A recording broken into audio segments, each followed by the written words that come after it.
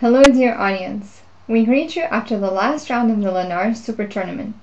In the last round, as it often happens on such a high level, all of the participants took half a step. In other words, Black didn't have any serious problems in any of the games, and they all ended in draws.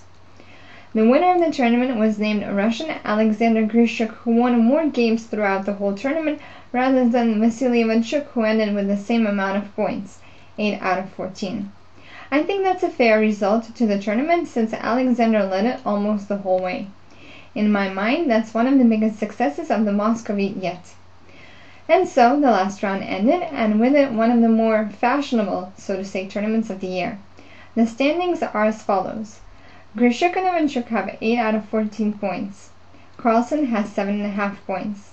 Anand has 7 points.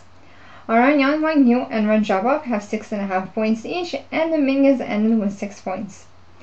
We congratulate the winners of this tournament and wish better luck to the rest of the players. I hope we'll see you again soon with the final review of the whole tournament. Thank you very much for your attention. Have a good day.